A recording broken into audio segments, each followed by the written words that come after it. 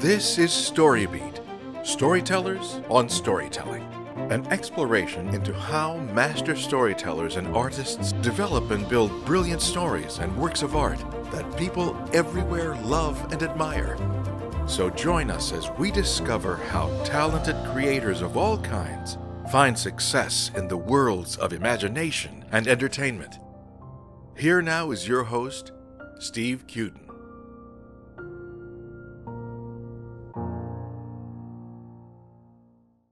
Thanks for joining us on Storybeat. We're coming to you from the Center for Media Innovation on the campus of Point Park University in the heart of downtown Pittsburgh, Pennsylvania. If you like this podcast, please take a moment to give us a rating or review on whatever app or platform you're listening to. Your support helps us bring more great Storybeat episodes to you. My guest today, the multi talented Kelly Ward, is a longtime entertainment industry veteran with a remarkable career that includes extensive experience as an actor, writer, director, producer, and studio executive. Kelly is best known for his co starring role as T Bird Putzie in the musical feature film Grease. Additional film credits include co starring roles in Samuel Fuller's acclaimed The Big Red One and Luis Valdez's Zoot Suit. As a writer and dialogue director, Kelly's credits include over 40 animated series, among them Star vs. the Forces of Evil, The Lion Guard, Jake and the Neverland Pirates, Mickey Mouse Clubhouse, Shaggy and Scooby Doo Get a Clue, and Jakers, The Adventures of Piggley the latter of which garnered Kelly a Humanitas Prize for writing children's animation and an Emmy Award for Outstanding Directing. Kelly began his writing career as a story editor for Hanna-Barbera Productions, ultimately co-writing the animated feature Once Upon a Forest. He later served as vice president of creative affairs for MCA Universal, where he supervised production on animated television series such as Back to the Future, Fievel's American Tails, and Shelley Duvall's Bedtime Stories. Kelly went on to a four-year term as vice president of animation for MGM, co producing the feature sequel All Dogs Go to Heaven 2, which he co wrote, and also he produced the new Pink Panther show, for which I happen to have write, written one episode. As a director choreographer of live theater, Kelly has staged dozens of productions ranging from Shakespeare to Sondheim. He has a long affiliation with the University of Southern California School of Dramatic Arts as both a director and adjunct assistant professor. Kelly and I first met more years ago than either of us will admit while we were both students at the USC School of Drama. In addition to his work in animation, Kelly is currently collaborating with artist Phil Mendez and co writer Cliff McGillivray on a children's book series called The Note Hunter, the first adventure, The Case of the Haunted Swamp, is available at Amazon.com. So, for all of those reasons and many more, it's a truly wonderful joy for me to have my longtime friend Kelly Ward on Storybeat today. Kelly, thanks so much for joining me. Welcome to the show. Thanks, Steve. It's great to be here with you. Well, the pleasure is mine, believe me. So, tell me a little bit about your history. You, have been in the business of entertainment for, you know, most of your life. And I know that your parents, Don and Bonnie, were theater mavens in Southern California. How old were you when the showbiz bug first bit you? Um, the show, it didn't really, well, I guess it did bite me. I was pressed into service uh, when my uncle, who was uh, an undergrad at San Diego State University, mm-hmm. was doing a production of Gilbert and Sullivan's Iolanthe, and uh, the director needed uh, a Moppet to be the, I guess uh, he's the, the the the high judge, to to be the train bearer for the judge in I think it's Act Two, where they do all the jurisprudence. Uh, uh, comedy. Right. And uh, I got kind of dragged into it, kicking and screaming because the little Lord Fauntleroy costume that they made me wear was abhorrent to me at the time. Um, and uh, how old were you? I think I was four and a half years old. and I stole a show uh, when I did a little dance with uh, with this gentleman whose train I was carrying and at one point, uh, getting bored with the proceedings, I felt that I needed to clean my nose, and I wiped my nose on his long train, and and uh, I think that's when that's probably when the bug bit. getting a big laugh like that. I was completely unaware of why, of course, but uh, it was pretty delightful. And even my uncle cracked up in the ensemble, so it was pretty good. And you had and you ha- were in a family where this was not um, not frowned upon to be in the theater, obviously. Um, no, that's the unusual thing. Uh, so many uh, colleagues and friends with whom I've worked over the years have been kind of the black sheep of their family. Um, and uh, when they wander into the arts, uh, because parents want them to have stable, solid jobs, mm-hmm. and they look upon the entertainment business as being very unstable and unreliable. Uh, but in my case, my grandparents were in the entertainment business uh, to uh, one degree or another, and of course, my parents, uh, as you said, carved out their living as uh, as theater directors, choreographers, producers here in Southern California. So, so in other words, uh, it started fairly early in your life. Not everybody gets into it at the age of four and a half or five. Um, at, at at at what point did you do some training? Or did you start right away as a little kid, or did it take a while before you started to train? Well, as a means of recreation, my parents steered me and my brother and sister, who were also performers. Yes, indeed. Uh, my brother has a very impressive resume. A great career, especially in live theater. That's that's Kirby, who's also a friend of mine as well. Absolutely, uh, he's he and you have worked on Broadway shows that have become legendary. Jekyll and Hyde, yes, indeed. Yeah, yeah, that stands out chief among them. Um, uh, instead of instead of being steered towards the usual juvenile activities of uh, little league or or uh, softball or bobby socks, mm-hmm. uh, my uh, my brother and sister and I were sent to tap dance classes mm-hmm. and ballet classes, um, and so that was our recreation at first, and uh, and those skills eventually came in handy. Although in my case, I I have to confess, I I did miss getting uh, more exposure to sports when I was a kid. Do you, do you feel like that's uh, impacted you in some odd way? Not in an odd way, but I compensated when I had kids of my own because uh, I, I steered them away from the arts and towards sports. Wow. Uh, so so none of your kids are, are in the arts at all then. No, it, it's that's that's not that's not true. Um, my my youngest son is uh, is uh, a fledgling television director. Mm-hmm. Uh, he's uh, been a stage director and actor. He got his BFA in theater at uh, UCSB. Um, he's probably the purest pursuer of the arts. But my oldest son is uh, as an executive with Fox. Well, and, uh, it's all in the family. yeah, yeah. Uh, my middle son, I have to say, uh, is a composer and singer on his own time in in his day to day life. He's the he's the principal planner for Jersey City, New Jersey. Oh, wow. Yeah. That's that's very much not in the arts, but must be creative, I assume. It, it is because he does get to uh, he does get to approve buildings that in some cases are required to have black box theaters in them, and uh, having been exposed to the arts, he can't be buffaloed when people say, "Well, yeah, we know what we're doing with this theater space." He can read the plans and go, "Yeah, you know, you don't have adequate bathroom space. Mm-hmm, mm-hmm. You have too big a, a refreshment stand, and how are you going to get the sets into this theater when it's on the second floor and you've got no elevator big enough to do that?" But this show is going to Broadway. right, exactly. Uh, so, all right. So, when you were a, a kid, you, were you being trained by others than your parents, or was it principally your folks? It was principally by others. Principally by yeah, others. Uh, it wasn't until it wasn't until we were in our teens, and I re- I resisted going into the arts pretty heavily when I got to be about 11, 12, 13 years old. I didn't I didn't want to I didn't want to participate that much. What I really wanted to do was stay home and watch Saturday morning cartoons. Of course. And be a ne'er do well, uh, or so I thought. But it was good preparation for what came later. Well, I'm I'm delighted to know that you have failed miserably at being a ne'er do well. um, I, I, guess so. Yes, yeah. yes, you have. Um, so, what all that early theater training?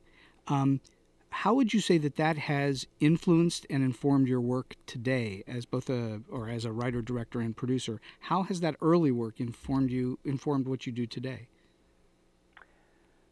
That's a great question. Um, I grew up in San Diego, of course, mm-hmm.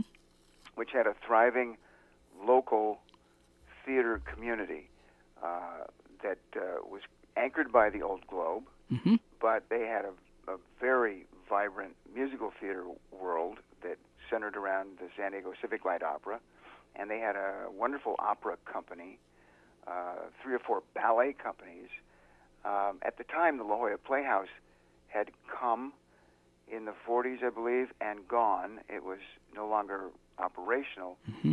Uh, it got started after I came to LA and started my career, but the the city and the culture nurtured local talent, both on the on the acting side of things and on the production side. And there there were some amazing impresarios down there, keeping and driving the theater uh, the theater scene.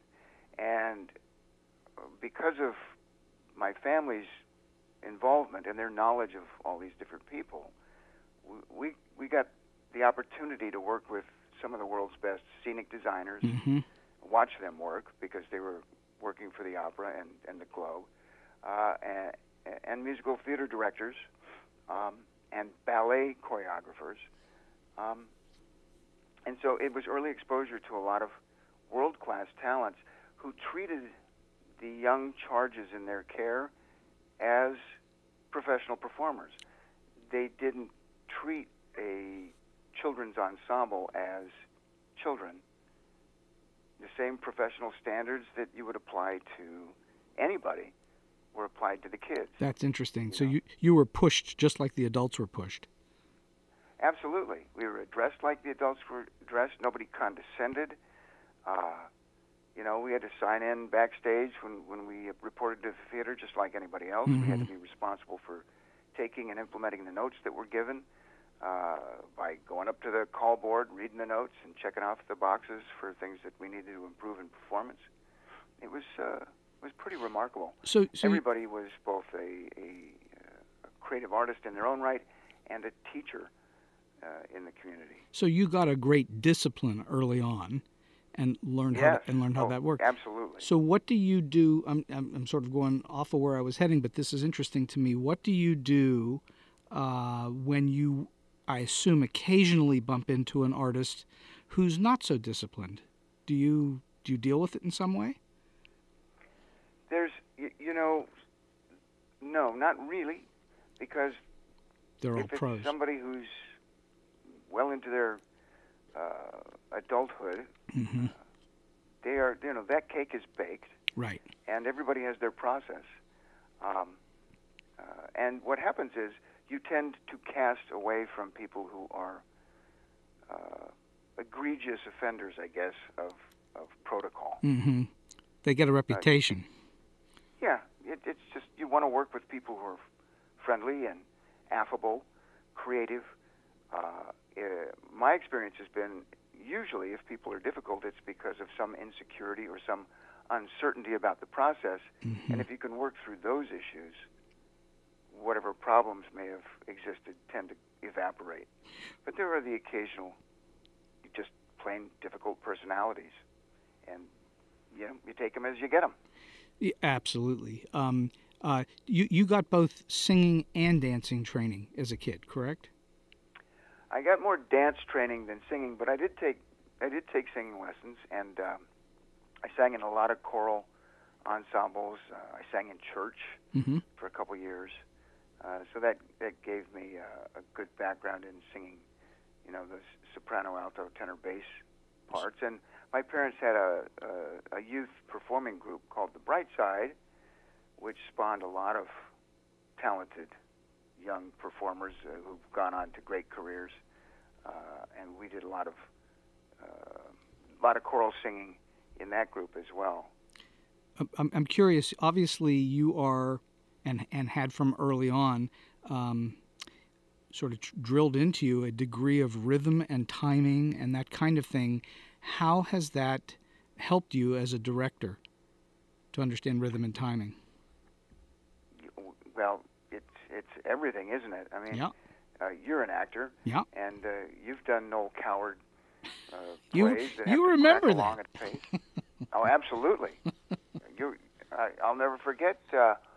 I think uh, you played Simon Bliss in Wow. Hay Fever. It was What a a memory you have. dazzling production, a a- sparkling production, What a memory you have. a, a tremendous uh, cast too. And, and I think all of those people went on to do wonderful things. Yeah, Martina Fink, uh, who I think became Martina Finch, and then uh, Javier Grajeda, and Yes. uh, uh, Luann Bidelic, and Yeah. and myself. We all went on to th- other things. Yeah, Yeah. yeah, Yeah, it and I remember it uh, as well because it was not done in a theater space. It was done in a, I think, in the, uh, Town and the gown. lobby of the Town and Gown Yeah. Ballroom. That's right. That's exactly right. Beautiful. Wow, you have an outstanding memory. I wouldn't expect you to remember that, but that's great. Um, so, all right, so back to the question, which is how has your? I know that you're you're filled with rhythm in what you do. You're filled with rhythm when you write lines of dialogue. You're filled with rhythm on how a show functions. You're filled with rhythm as the actors are working off of each other. Would you say that your training has been uh, um, helpful to that, or is it just innate to you? That's a that's interesting. Um, I think the training is probably, if, if there's anything innate about it, the training probably enhances Mm-hmm. Mm-hmm. sense of pace and tempo and, and rhythm. Um, but it, it is something that uh, that you do develop a feel for. There's a knack for it in some people that uh, that informs their work, and I don't know that I consciously rely on it. But every now and then, it'll you know you'll get a a little jolt that that tells you, gee, this this this scene is not playing quickly enough, or or we're blasting through it too fast and we're not honoring we're not honoring some of the some of the changes and shifts in the in the in the transactions. Right. I, I, w- I would not expect uh, you to be consciously thinking about it very much. I would expect that it's pretty innate at this point. But I, I also would think that that early training comes through in ways you probably don't even think about. Um, Yeah, I I agree. It's like uh, it's like anything having to do with with our world. There's uh, there, when you're learning a skill, whether it's piano or or, or tap dancing or writing, um, it's kind of like learning to drive a, a, a- manual transmission. Uh, it's it's and, and I always confuse confuse which hemisphere of the brain controls what, which is the artistic side, what, you know, et cetera. But y- you're very much in one side of your brain when you're trying to drive that manual transmission and, and coordinate the clutch and the accelerator and the and the gear shift.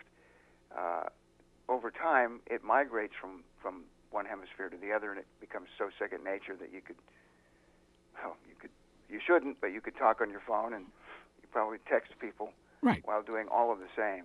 Whereas in the beginning, it's very difficult. But uh, it, any of these skills tend to function the same way, where they they start out in a very conscious and very labored part of your mind, and then they get uh, they gradually migrate to to a place where it's it's innate or natural or second nature or whatever you want to call it. And, and that's why we rehearse. I mean, you, you go to the probably the most famous dancer of all time, being Fred Astaire. Uh, him or Gene Kelly, I guess, would be the two most famous. But you go to Astaire, and he always made everything look like it was effortless and easy to do. And everybody that knows knows that he worked for hours and hours and hours to get it to look that way.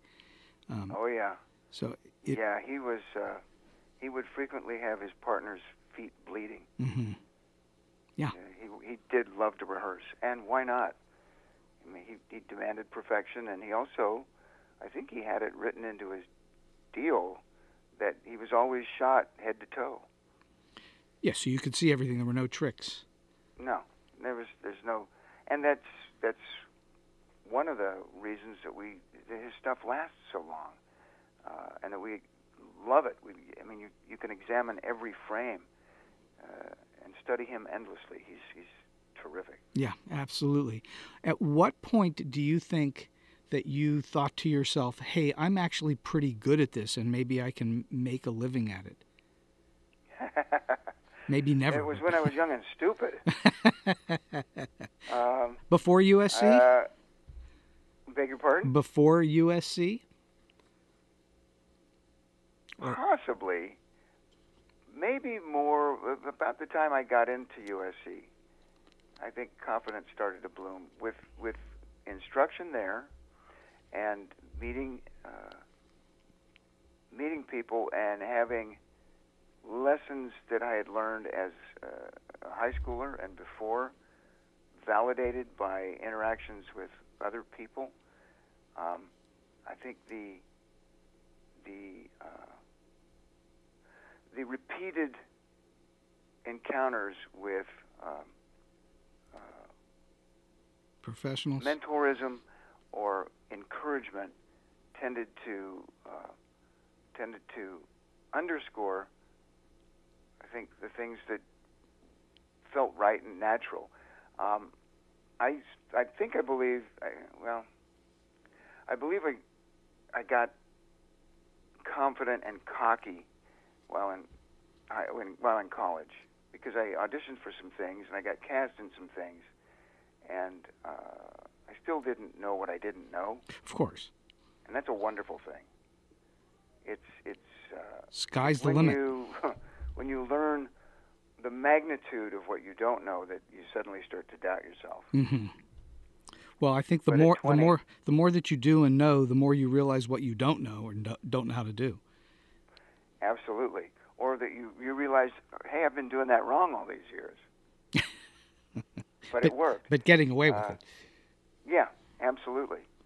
Uh, uh, Um, absolutely. uh, it, it's it's a um, it's a kind of a thing where that kind of confidence it comes and hopefully it stays with you for a long time. But for some people, it doesn't. Sometimes it just does go away. Yeah, well, that kind of happened to me as an actor. Hmm. Uh, I, I, I started to lose confidence in the work, and I started to lose trust in directors, Really? particularly in episodic television, and that made me question whether or not I wanted to keep pursuing that as a career. Is it because they weren't really giving you any direction? They were more manipulating cameras and, and staging. It's been so long, I, I couldn't tell you, I couldn't give you a, a real specific answer to that. Mhm. Um, I couldn't say on a case to case basis because I worked with some wonderful television directors who were really affiliative and great and supportive. Um, it just it just ceased having the cachet for some reason, and um, and uh, I felt more intrigued or more fulfilled by pursuing learning another craft. Mm-hmm. So, all right. So you you obviously have worked on both stage and behind, not behind, but in front of the camera as an actor. What would Yeah. you What would you say? And also, obviously, with voice actors, we'll talk about the, uh, those in a, in a bit because I'm very fascinated by voice voiceover actors, um, or voice actors. Uh, uh, what would you say are the major differences for people who don't know? What are the major differences between acting on the stage and acting in front of a camera? I have to give credit to my long ago manager for this answer. His name is Jim Curtin, hmm and he broke it down in a way that made perfect sense for me. Uh, he maintained that a film actor has to allow the camera to ravish them, Mm. uh, to succumb to the camera, and that a stage actor has to ravish the audience, that the energy is completely the other direction. How interesting. and I think that's I think that's true in the main. Um, I, I you know I think of James Dean and how everybody uh, is so in, entranced by his mystique. He hides from the camera even when hmm you watch his work, and that makes him really interesting. hmm Um, it it pulls you to the edge of your seat, and uh, uh, that's uh, that's part of that's part that's part of it. I think. Uh, I've seen Ian McKellen on Broadway play Salieri in uh, Amadeus. in uh, Amadeus, and by God, he ravished the audience. Mm-hmm. From the opening moments, he took us by the throat, and we were at his mercy. So, so the big Uh, difference is the camera has to be let in, and stage you have to let it out.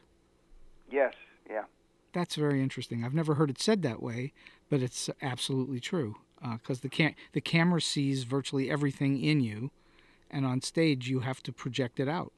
So I, I yes, think yeah. that's that's very very interesting and valuable. Um, you, you know, you've been lucky enough. Obviously, you, as you said, you've worked with some directors who, for whatever reason, um, made it so that it was a little more difficult for you to uh, carry on as an actor. But you've also worked with um, some really great directors like Randall Kleiser and like Sam Fuller. Um, what important lessons did you take away from them? I well, each of them had wonderful skills with camera and very unique personal ways of, of uh, using the camera to tell their stories. Uh, one of the things that strikes me about Randall's work in Grease is how he makes everybody, even the the background people, look gorgeous Mm-hmm. and that's that's due in large part to Randall. It's also all credit to Bill Butler, who was our our DP. Right. Um, but together, they really caressed and loved the cast. Uh, Olivia looks spectacular. John looks gorgeous. Of course. Everybody just glows. Um, Randall was very free on the set. He allowed us to improvise when he found uh, parts of the the script to be maybe a little tight, a little uh, not loose enough for his tastes. Um, he would have us improvise scenes, and he, those scenes were used in the film. So he was very freeing, and I, I would say most of my where I began to to become disenchanted with acting on on camera, it was more on the tel television side, Right. and it had, probably had something to do with time factor. Speed. Uh, the features are different, a different ball game altogether. They, they, they, um, they take their time on things, whereas TV has to move forward pretty quickly. Well, to a, to a certain degree, Sam Fuller certainly didn't take his time. uh, he, he Sam knew what he was doing and put his faith in his uh, his DP, um, who happened to be Adam Greenberg on one of his early shoots, who's a fantastic cinematographer. Absolutely. And um, Sam knew precisely what he wanted, and uh, he'd get one take that he liked. He'd ask Adam, "Did you get it?" Adam would say, "Yes, Sam, I got it." And Sam would say, "Forget it. Next setup," and we'd move on. Wow. He didn't have any insecurity about his work. We rehearsed scenes uh, thoroughly, which was always good, and he was a very clear communicator. And then if uh, if a mistake happened on film, Sam loved it. He embraced mistakes. Do, do you find that you do the same with, with voice direction? Mistakes can sometimes be fun, but um, more often than not, we like to get things as written, at least one. Yes. But often mistakes and improv uh, are, are very welcome. Oh, oh, some some of the great lines in the history of TV animation are improvised. Oh, without a doubt.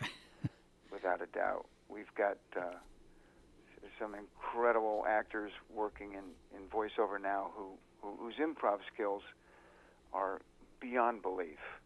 And, uh, you know, recording uh, digitally gives you the luxury of, you, know, you can just open up the, the mic and record until you get something you're delighted with. hmm Uh, so you've you know you've done a lot of directing in both uh, the the studio, i.e., the recording booth, and also on stage. Do you have a preference for one over the other when you're directing? Is do you prefer to direct for theater or voices, or does it are they just two different things? uh, they tickle different parts of your imagination. Um, there are there are pluses and minuses to both. Mainly pluses. Uh, I love the theater because it's there's more control. It's not quite so specialized. Uh, I get to interface with all of the crafts behind the scenes, Mm-hmm. wardrobe, scenic design, projections, lights. Uh, all of that is is stimulating and fun uh, to work with other craftspeople to to make a theatrical production come to life Mhm. is great.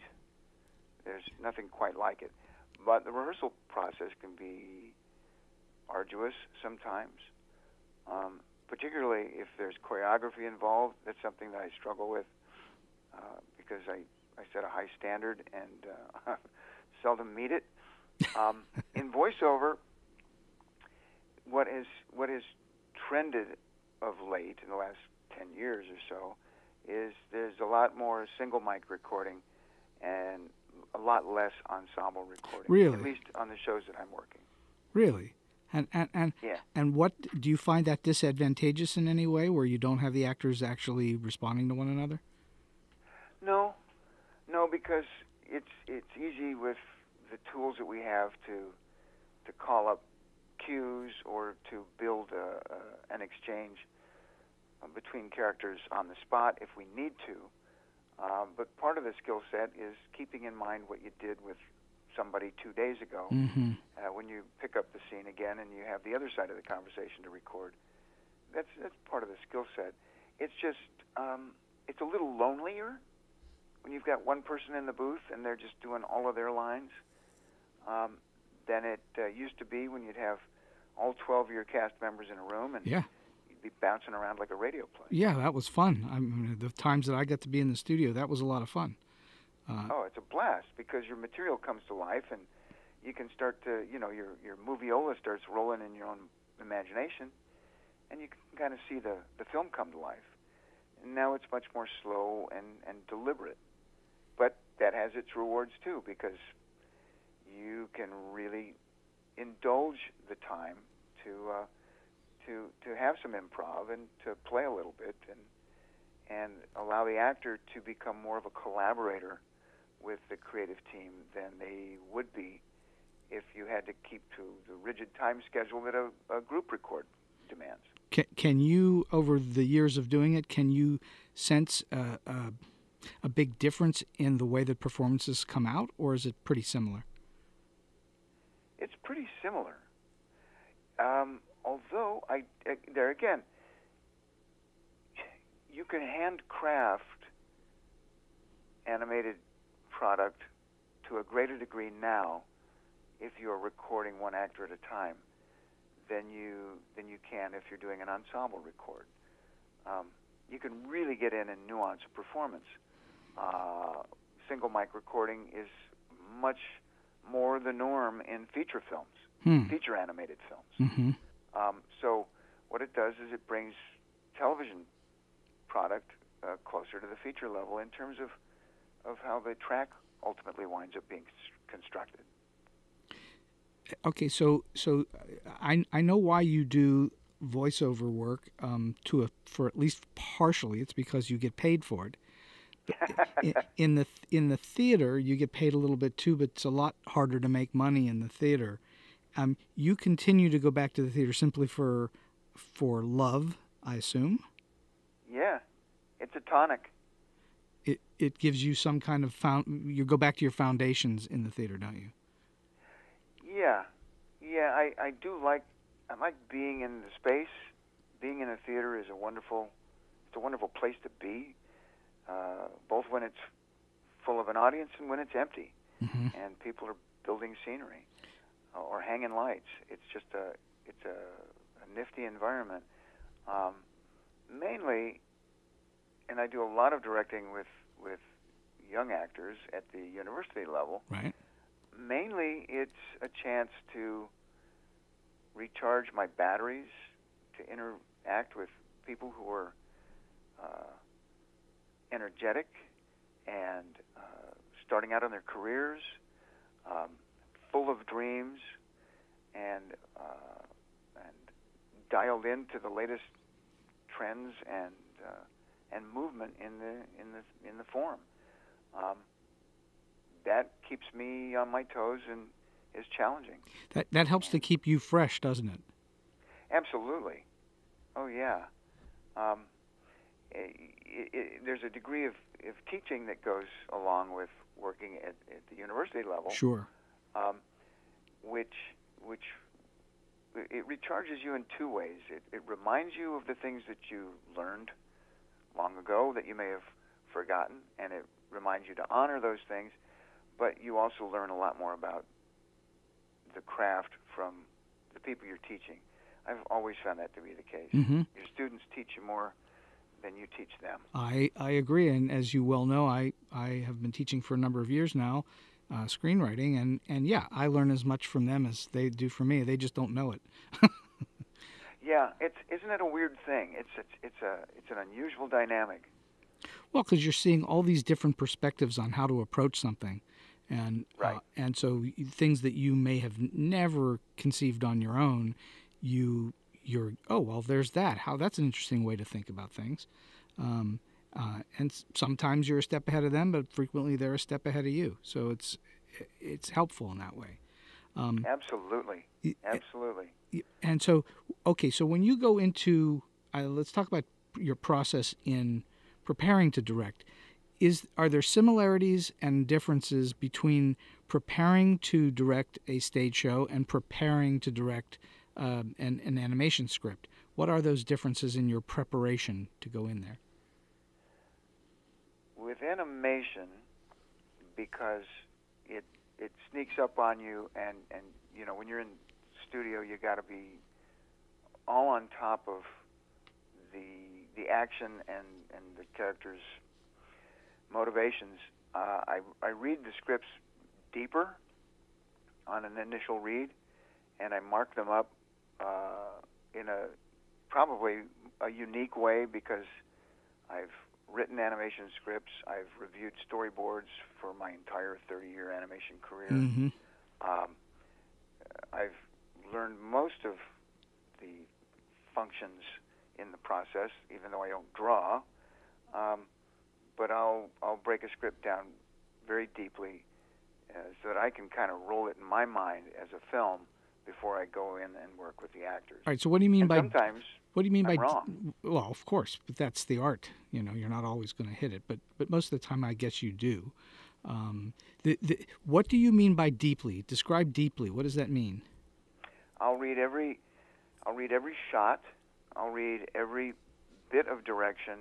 Uh, I'll soak up what is the character holding in their hand, what is going on in the background, where's the scene set, uh, what what does this scene lead to in terms of setup or payoff for the, the uh, sub, uh, subsequent scenes.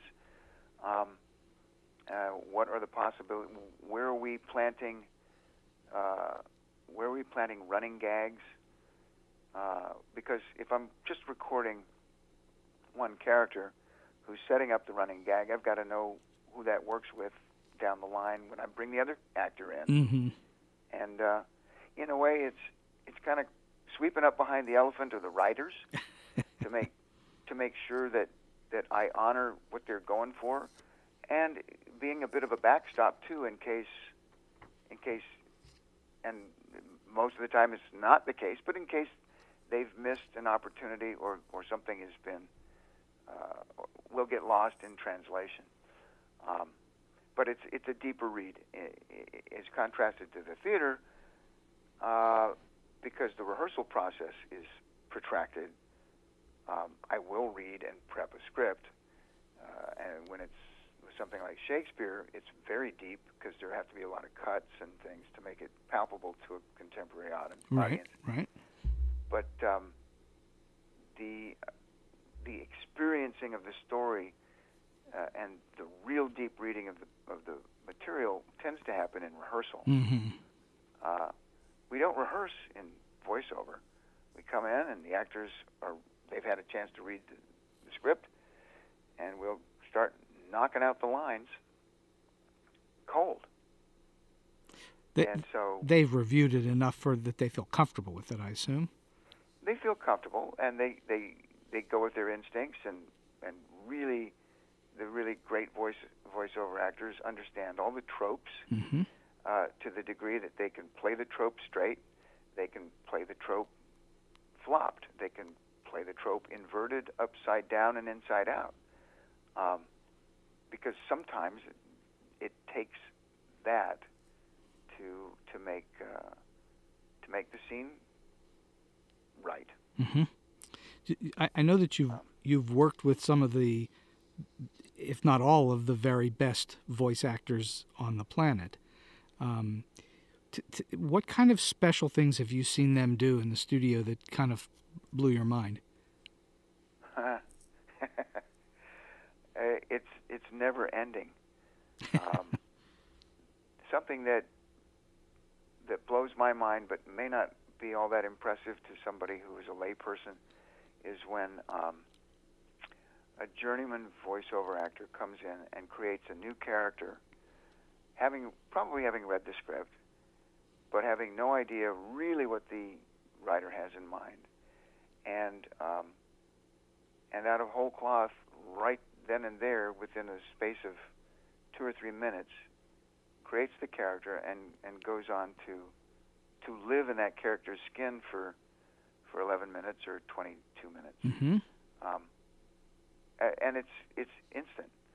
It's not something that they've been thinking about or planning or rehearsing in their kitchen and toiling over. It's it's uh, it's very much like improv um, because of whatever tools and and and, and uh, references they might rely on, and everybody has a different process. Uh, Corey Burton is a walking encyclopedia of vaudeville and old radio, and he concocts this alchemical mix of references of uh, uh, Eugene Pallette and God knows who. He blends them, uh, and and what comes out is something altogether new and extraordinary. Have, Um, you've worked with Frank Welker, I assume, I worked with Frank Welker the day before yesterday. and it, I don't. He allegedly can do. I've never heard it, but uh, people have told me that he can do two distinct duck sounds at the same time. You're probably right. I don't know that I've ever heard him do that, but um, he is exquisitely talented, Unbelievable. and you don't even realize it. Uh, he gives you ten times more material than you could ever use, and um, and his first take is always brilliant, and what comes after that is conscious consciousness altering. and and yet, Frank is the nicest guy in the world. hmm Um, always on time, always cheerful, uh, and uh, such a joy. The the other thing that the, the uh, voice actors do that is astonishing to me is they can just like you say create this character, and then go away for weeks or months or even a year a year or more, and come back and their characters repeats for some reason, and they're dead on the money again, Oh yeah, absolutely. and they have it in their head somehow, and I don't know how they remember it, but they do, and they Um, it's I think I think it's because the very best, the very best of these people, the the Rob Paulsons, the Tress MacNeilles, the the Russi Taylors, um, they don't do voices. they do characters. They create characters, yeah, yeah. and the characters once they do them are from, as familiar to them as as their next door neighbor or a, a cousin or an, you know Aunt Matilda, um, and that that really is what separates great voice actors from from people who just do voices and make funny sounds. Right. Do, can can you think of a of uh, throughout your whole career a truly challenging problem you had in the studio, or and how you solved it? Mm. It's, there's, there's, yes, there have been some truly challenging problems. They, they come from all different corners.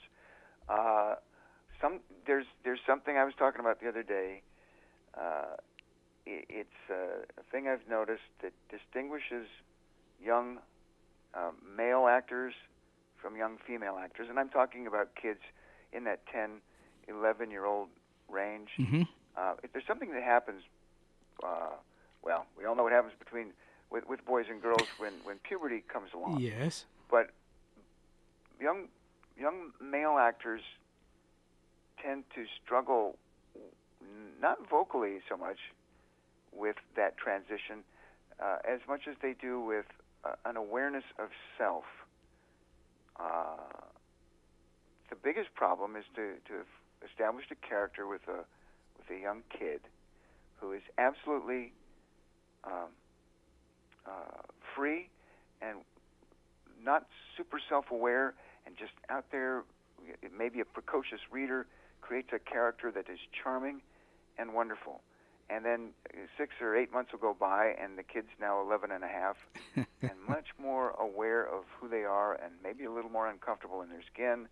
And you ask them to do that cute little bunny character, and suddenly it's I, I don't I don't I don't like to I don't want to do this. I feel vulnerable. Self-conscious. Self-conscious. Girls don't seem to struggle with it as much. Mm. In general, uh, it's a big generality, but I haven't seen it work that way so much. But that's sometimes the biggest struggle because you really have to be a psychologist on a certain level at, at those times. And and uh, would you say you're pretty good at it at this point? At being that psychologist? I honestly don't know. sometimes you feel like, wow, we got through that. That was a success. And sometimes you just kind of go, I hope that works. I, I, I wouldn't be so uh, bold as to say I'm good at that. W- You know, every situation's a little bit different. Do you get notes back from the studio or the network sometimes going, "What happened here?" Sometimes, sometimes you, you, it, it might not be notes or even a question. It might be uh, a script with pickups, and you look at it and you go, "Gee, this is a long pickup script." Oh, every line for for the bunny is being picked up. I guess we're recasting. Yeah. Um, that doesn't happen that often, but it has happened in the past, hmm where it's just insurmountable, and it, comes as no surprise that, oh, that actor's not doing voiceover anymore. Why? Well, they're playing lacrosse at their private school, in, hmm you know, in Coldwater Canyon. So, so uh, let's talk about casting for two seconds, um, because I know you've been a casting director as well when you're in production. Um, I, I, I'm, most voice actors these days have some kind of a, a reel that you can listen to, um, or, or something specific that you've asked them to prepare. What, give some advice to those who are looking to get into that business as to what would be an advantageous for them to put on a reel, and things that would be disadvantageous they should not put on a reel. Well, that's a pretty that's a Broad. that's a sweeping or that question is narrow, but it has a sweeping answer. Yeah. Um, in general, I would say accents are not characters. An accent is an accent. Good. If a character has an accent, great. Um, but early mistakes, myself included, when I did an early voiceover tape, which I hope by the grace of God someone's destroyed. um, I, uh, I happen to have it right here, Kelly. Oh, great! Yeah. Roll some of that for the audience's delight uh, and amusement.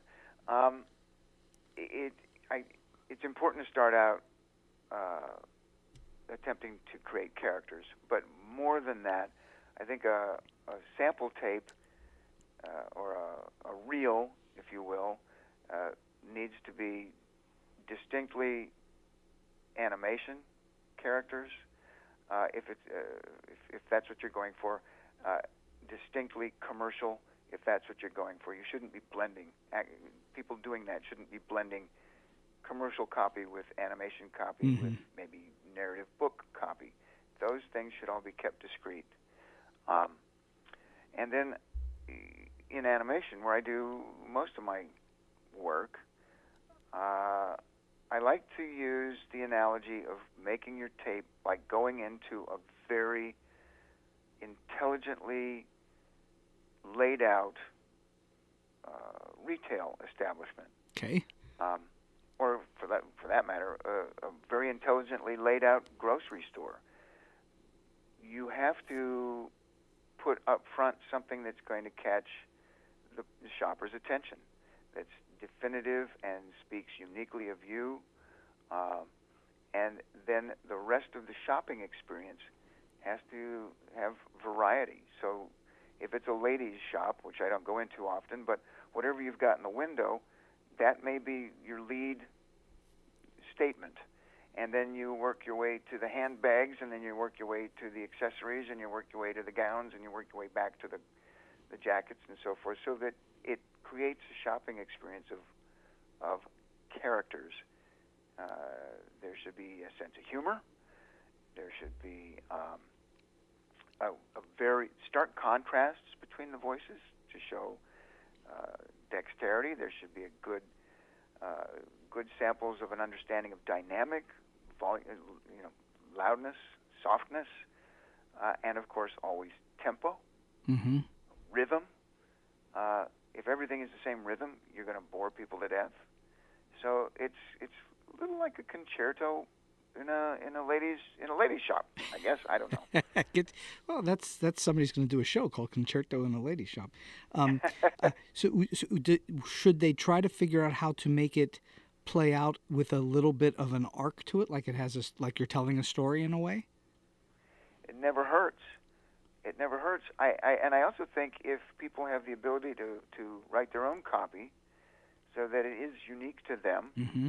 Or incorporate bits of copy that they have uh, that they've actually been hired to do, that's always helpful.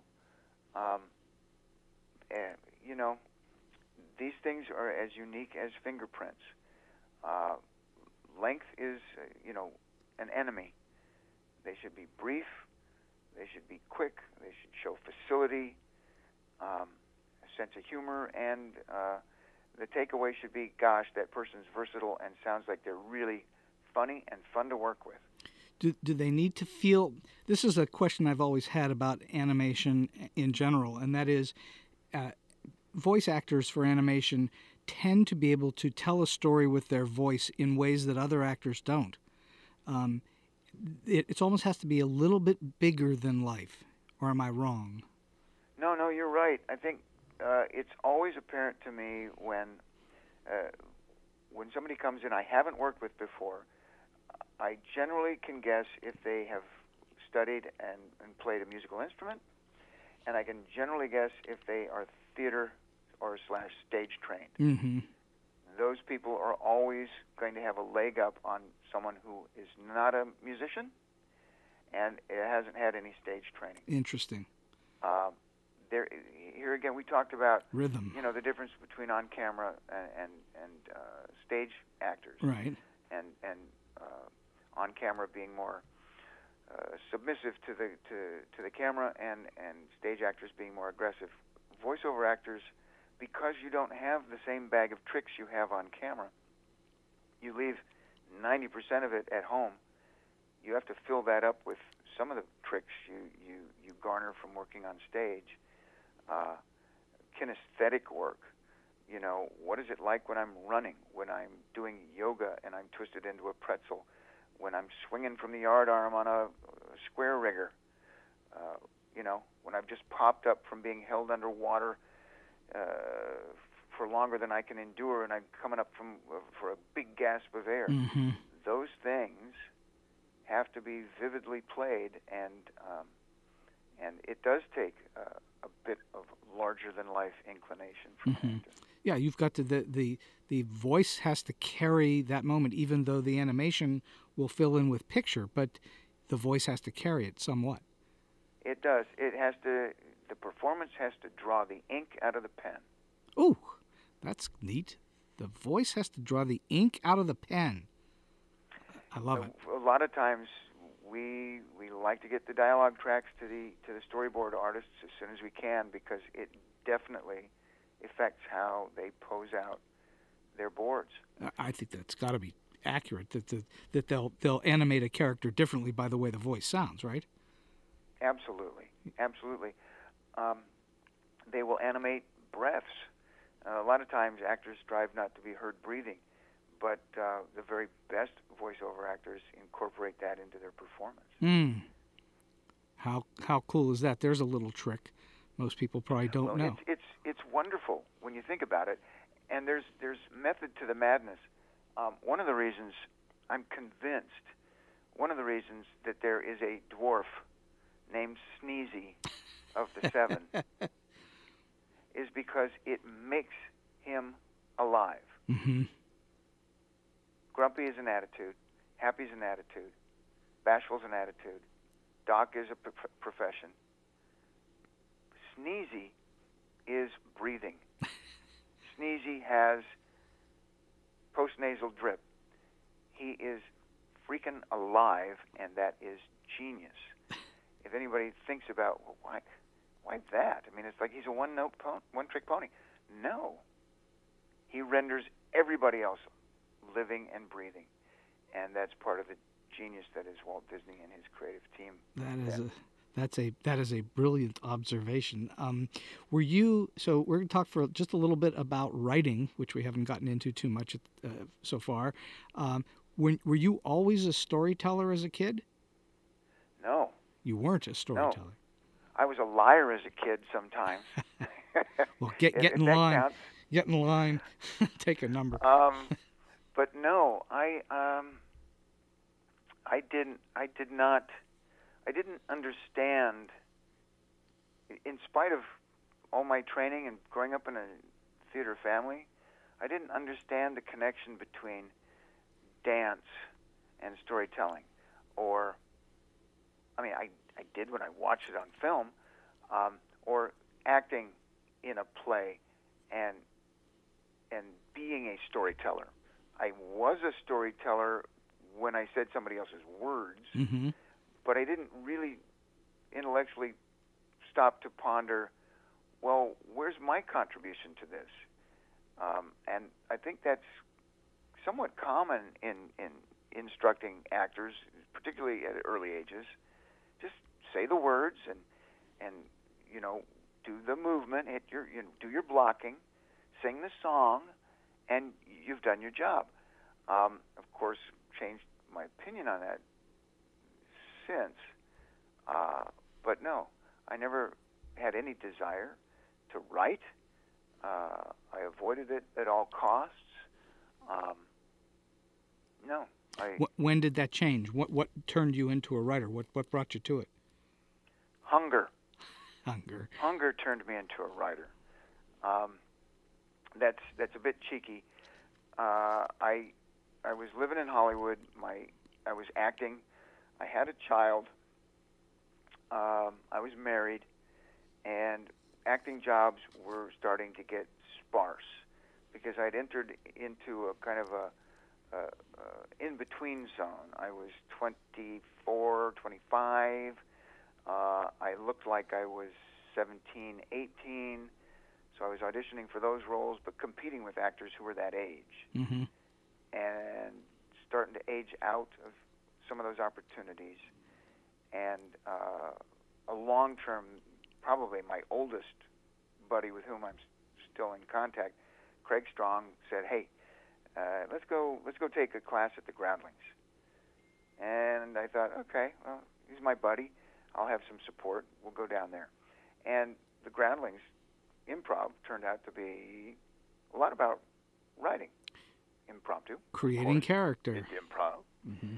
Um, and even after going through the Groundlings program, I resisted the idea of writing. But while there, I met somebody uh, who became a mentor and urged me to learn to write. His name's Jeff Siegel, and um, he patiently, generously tutored me and convinced me to try to write screenplays that I could act in.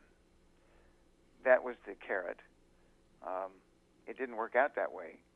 Uh, I did write some screenplays with Jeff on spec, and uh, I learned the craft, and eventually became comfortable with doing that. And uh, through my association with him, I got hired at Hanna Barbera to write. Wow. What was the first thing you did at Hanna Barbera? Well, the first thing I did was collaborate with Jeff as a freelance writer on a couple uh, a couple shows that he was writing, and he was generous enough to mentor me along. I wasn't credited with writing it or, or, or assisting or whatever you'd call it.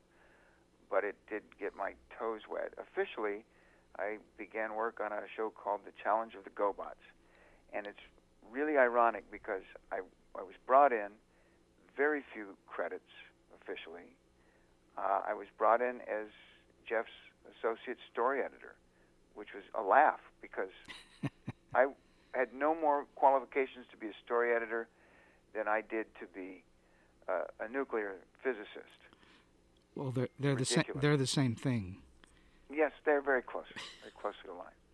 Um, but it was a great gift. I thought I'll do this for a year. I'll build up a war chest. I'll go back to acting. Uh, I'll look a year older,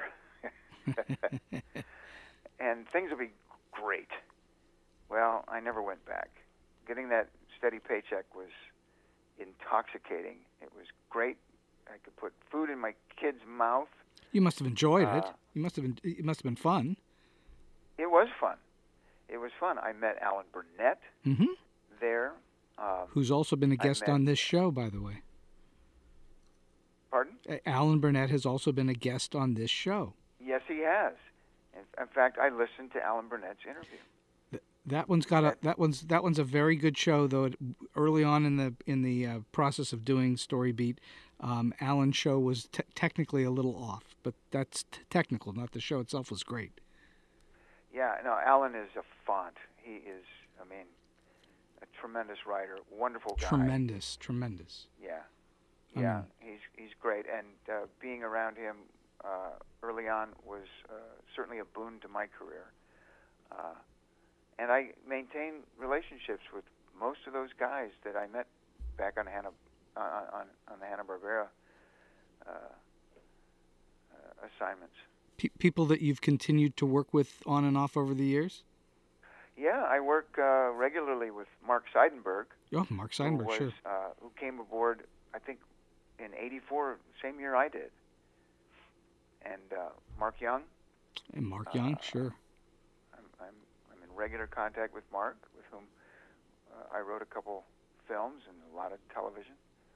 Um, it was a it was like going to college, and um, when that group spread out, they populated Disney TV animation and they populated uh, Warner Brothers, and it really was uh, it was a great time. Was- the Was there a late 80s, early 90s? was the, yeah that was and that, and through the 90s that was boom time in that whole business um, It really was. At what point did you think similar to the question about acting or being a performer at what point did you think to yourself you know what i this is not only fun and it's making me money but i'm not bad at it. I'm pretty good at this. I can do this. How long did that take? That took, I think, two or three years to really get comfortable and feel like, okay, I I understand the craft, and I think I exercise it pretty well. But it's it's it's constant learning, as you know.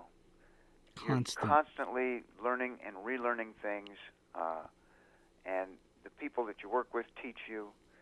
Um, uh, the storyboard artists that you work with teach you.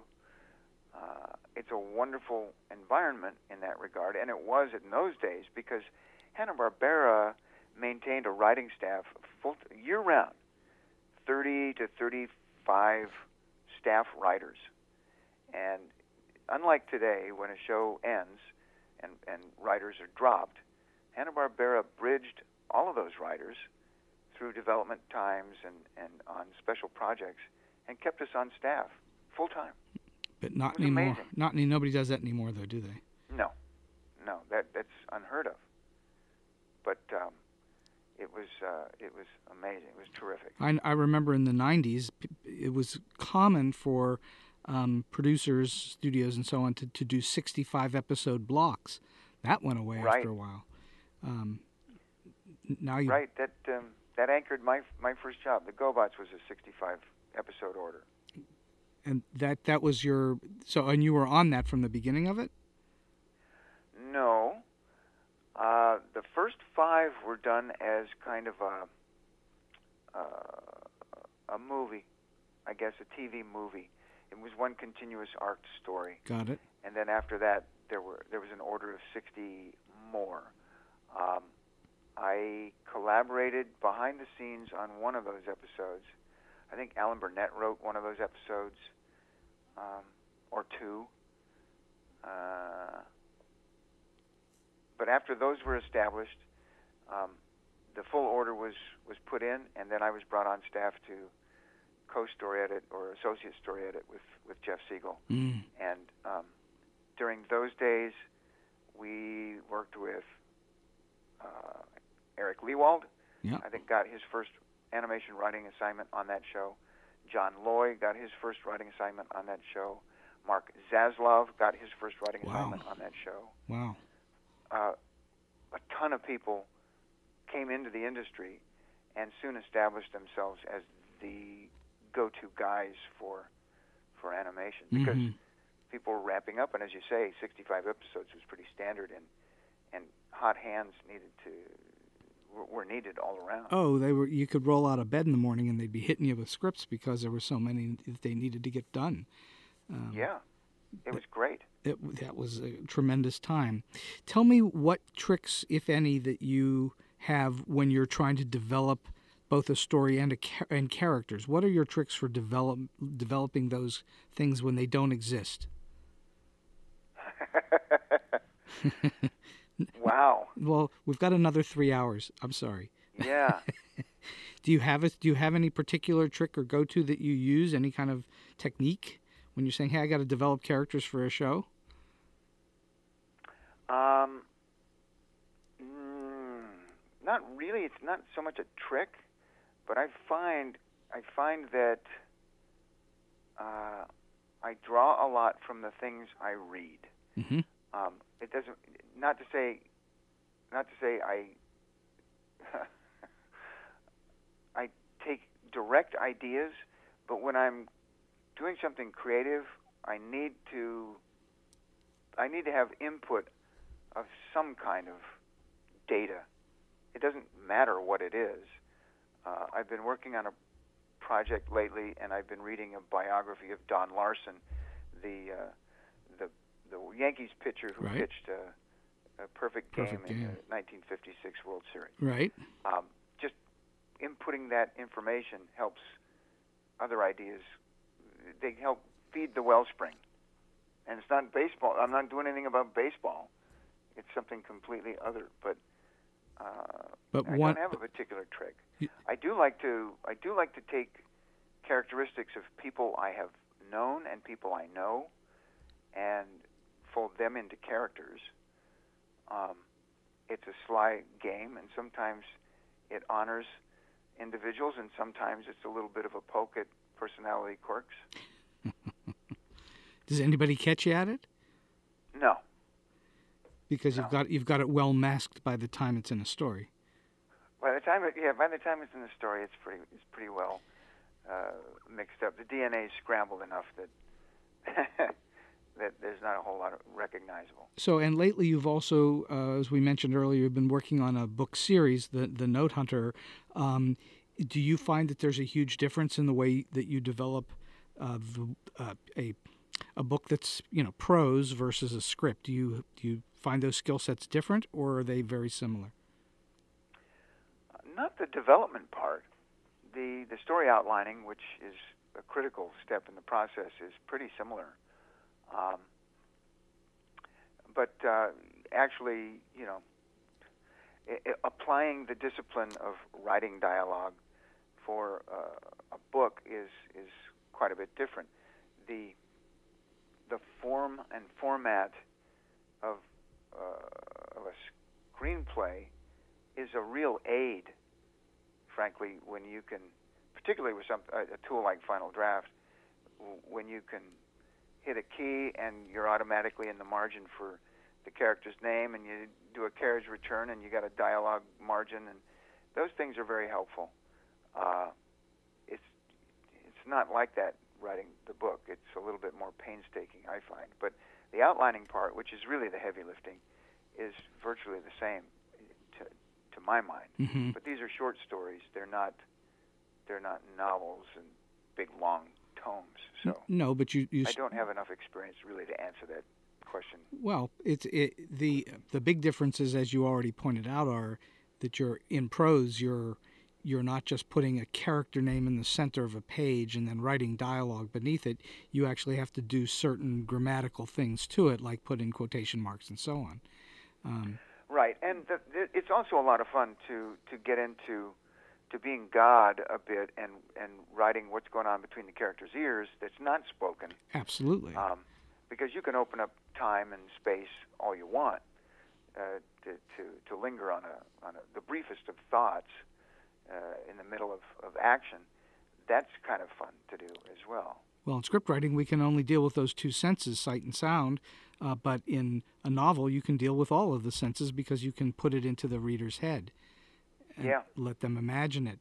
Uh, th- that's also a huge difference and, and um, uh, you know, significant in how you would approach a particular story. It's one of the beauty parts about musicals that I talk to people all the time about. I, I you know, I consult on musicals and people send me their stuff and I, I read it and too frequently they're trying to tell the story and what's going on with their characters in song. They're trying to do plotting in the song, recitative. Mm. And what they need to concentrate on with songs, which is similar to this process we're talking about, they need to concentrate in songs on this ability to talk about what's going on internally with the character, how they feel, and what they're thinking, which you can do in a song that you can't do otherwise. Right, right. You you, you, you drive the story emotionally, right, but not plot wise. That that's correct. It's it's, it's interesting. There, you know, a book is uh, a book is at one end of the spectrum, a film's at the other, and and and a stage musical or a stage drama is kind of kind of in the middle because you can do those songs, or you could do uh, a monologue in Shakespeare that opens you uh, opens your character up psychologically, and you can get insight to what they're thinking. Uh, uh, you can really do it in the novel you got no time. You got to show it visually in the film, but but stage gives you that unique blend of the two. But but you would be very pressed, hard pressed to do anything like that in say an animated show for a kid where the characters just start talking about what's going on in their head. That yes. wouldn't happen unless perhaps you're doing it uh, for for the French. For the French. well, I guess if there's an audience in France, you may as well go for that. Um, it's true. Uh, my my my part my long ago partner Mark Young was working on, and this is going to be a digression, but he was working on a, a Robin Hood animated Robin Hood project some years ago, and was laughingly complaining to me that that some of the scripts had to be written by French writers, and they were getting episodes back where Robin Hood and his merry men were talking, sitting around and talking about yes, but is it right to rob from the rich and give to the poor? Pondering that question. you know, I there's exciting that, animation that, that gets into both politics and storytelling. You know, should you rob from the rich to give to the poor? Well, you know, I don't know. I don't know about the robbery part, but it'd be nice to give something to the poor. so we have been, believe it or not, talking for one hour and twelve minutes, and we're gonna wrap this thing up. Um, and so I'm going to go to the last two questions that I ask everybody. And the first is, and we've talked about some of this already, but let's hear what you what story you might have. I know that you know you've obviously worked with a lot of various great people in the industry.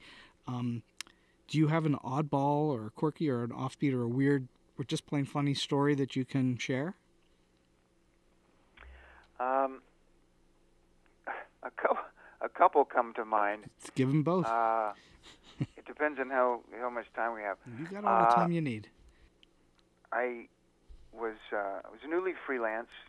I'd just come off of being an MGM exec, and I was looking around for filling my dance card with enough projects to make sure I w- I wouldn't freak out about not being regularly employed. And I got a call from an old buddy, um, somebody actually I think with whom I had done a, a student film at USC as a, as an actor, who had uh, like me become a writer in the intervening years, and uh, he invited me to come down and meet on a project uh, that involved adapting the Velveteen Rabbit, right? Uh, which is you know in the public domain, and I, I love the story, and so I, I said, yeah, sure, I'll come down and discuss it. And We got into a, a pretty detailed discussion about how this might adapt into um, a lovely, charming uh, animated short.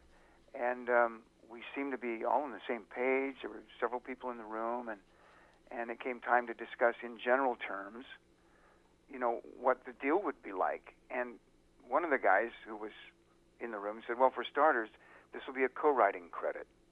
And up to this point, everything had been, framed as, "And you're going to write this, and we'll write this, and you write that, and you'll deliver the outline."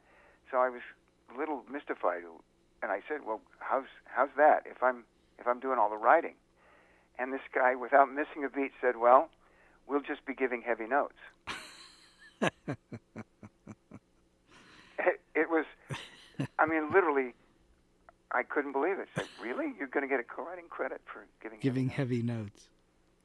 and and at that time, you know, that was dire. Now it's a little bit more, it's more accepted. And so I'll, I'll leave you with that one. I do have another one if you want to use this instead. Um, and uh, it has to do with animation. And I'm writing this direct-to-video feature Mm-hmm. based on uh, an American Tail. Um, this is well after I had worked at Universal, and with my boss Jeff Segal had helped establish this direct-to-video franchise. They had done one already. This was to be the second one, and um, I pitched him a story concerning Fievel in New York as a as a, a self-declared news reporter, and he goes out and. Uh, he lives on the Lower East Side, and he's got a camera, and he covers the rough neighborhoods, and uh, gets into all kinds of scrapes and stuff. And and there's a bunch of uh, there's a bunch of robberies going on, and he kind of gets into a sort of a noir feeling uh, detective mode with his news reporting. Right. And um, so I I got the outline done, and I got sailed through the outline and got a script done, and then they brought on uh, brought in an animation director uh, who had problems with the script because it, and this is not a direct quote, but this is a paraphrase. A mouse could never operate the big cameras they had in that era. Yeah. And I, I had worked with this. I, I won't name him. I had worked with this director for years, and I respected and adored him. And I said, "Well, wait a minute. Really? He has a mouse-sized fiddle in the original film." and the director said, "No, nothing doing. I don't buy it. It it doesn't work for me." I, it, it's like, okay. He wears a hat and he wears clothes, mouth si- mouse sized. Nope, couldn't sell him on the idea, and they were going to dump the idea. And I said, "How about don't dump the idea? Why don't you guys dump me? Because if you're going to, if this is a sticking point, I, we can't go forward. So pay me out for the work done to date." And um, they they did, uh, and um, Len Uhley was hired to come in and do the rewrite. And Len's a great guy. Has he done your Has he done your show? Oh yes, Len's been on the show. There you go. Well, then you know. I, I love Len. He's a great writer, but he got the gig and uh, turned out quite well. But man, it just was a head spinner for me. Did they did they did they have the uh, did did Fievel use the camera? No, No. that no, was this story was completely redone, r- redone. and and Len did a did a great job. But it was just one of those things that blows your mind. Yeah, it's it's you get those kinds of crazy notes from people sometimes where it says you know a fish would never do that. Well, fish don't talk. Fish, you know, or whatever it is. The, the mouse is not supposed to be doing what you're telling the mouse to do. So those are kind of crazy crazy notes. Um, Right, Uh, right. But that's the nature of that beast sometimes. Um, uh, and It is. You do get those weird notes. it- it's like where where's this person coming from because they're not understanding that this is an animated world that you can make the character do anything you want uh, Right. you know or you You can get do anything, or you and I, it can be as big or as little as you want. or I love that you hear stories all the time about people create a new show or new character or whatever and somebody will say but that character would never say that you go well how would you know what that character would say you know it's like how in the world so all right last Yeah. question of the day what's Um, uh, do you have a, a, particularly good piece of advice or a tip for those who are just starting out in the business, or even those who are in it for a little bit but trying to get to that next level?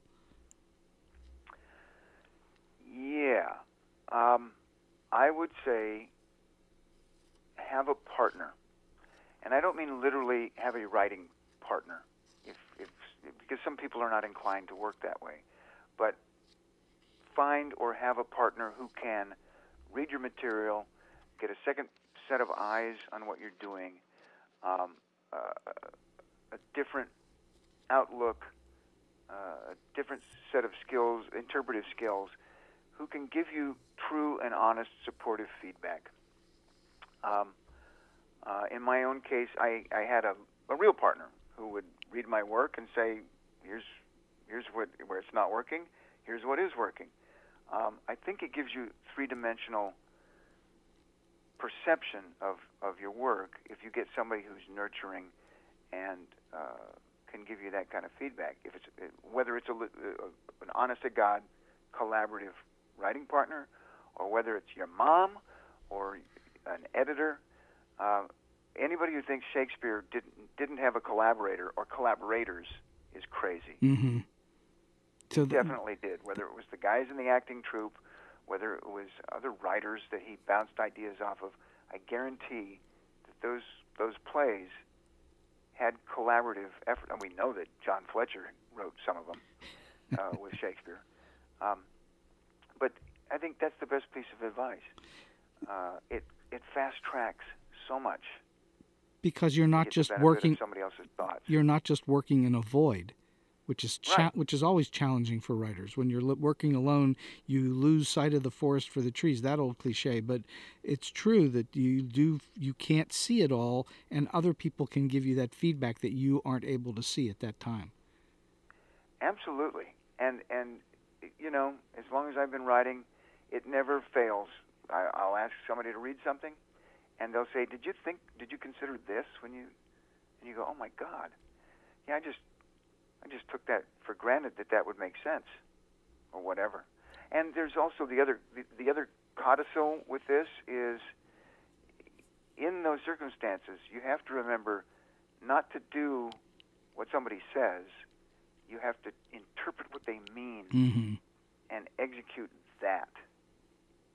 Yeah, and when people give you a note on something, uh, frequently they're not giving you the, the note that's most helpful, but they have some, something has has triggered their reaction to it that you then need to consider.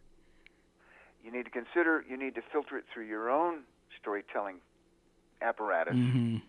and and synthesize what what the answer is, or synthesize a means of addressing that issue.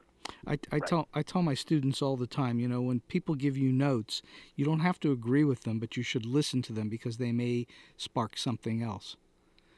Absolutely.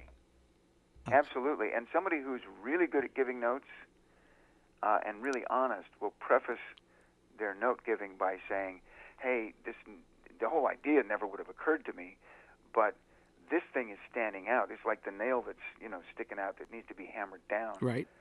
I don't know how I don't know how you're going to hammer it down, what you're going to use to hammer it down with, or whether you want to use the claw end and pull it out and eliminate the nail altogether. Well, but that's a nail that's sticking out. Yeah, right. And that's and so now you're trying to finish a piece and make it great, and that's the difference between what was hurting you and now this has made it great. Um, yeah, that is uh, you know that's very uh, great and wise um, advice that you're giving there to have somebody else, a partner or whoever, giving you feedback on your work. Um, Kelly, this has been a great treat today. I'm so glad that you were able to do the show. Um, I know people are going to learn something from it for sure. Well, it's it's wonderful to talk to you, Steve. It's been too long since we've had an extended conversation. Yeah. It's always great. Yeah. Um, our our work together spans many forms. It does, doesn't it? it does. So from from writing to stagecraft to all you know all kinds of things. That is, that is for sure. So it's always good to catch up. Thank you for being on the show. My pleasure. And so we've come to the end of today's story beat. If you like this podcast, please take a moment to give us a comment, rating, or review on whatever app or platform you're listening to. Your support helps us bring more great episodes to you. This podcast would not have been possible without the generous support of the Center for Media Innovation on the campus of Point Park University. Until next time, I'm Steve Cuden, and may all your stories be unforgettable.